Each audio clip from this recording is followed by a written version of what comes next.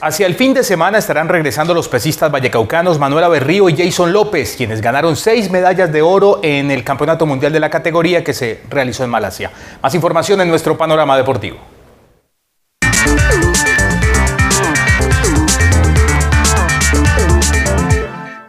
El favorito al ascenso deportivo Pereira fue sorprendido por Leones, que sacó un empate con el doblete de Daniel Lloreda. Los matecañas estuvieron cerca de perder con esta jugada de Juan Suescún que terminó en gol, pero luego en decisión polémica del árbitro Carlos Ortega fue anulada.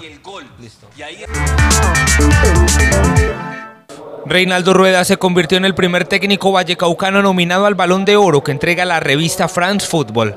Rueda, actual campeón de la Copa Libertadores con Atlético Nacional, compite con entrenadores como Pep Guardiola, Zinedine Zidane, Luis Enrique, Diego Simeone, entre otros. Con más de 300 competidores se cumplió el quinto circuito departamental Ciudad de Jumbo que recorrió las principales calles de la capital industrial. La prueba se corrió de la categoría Teteros a la élite.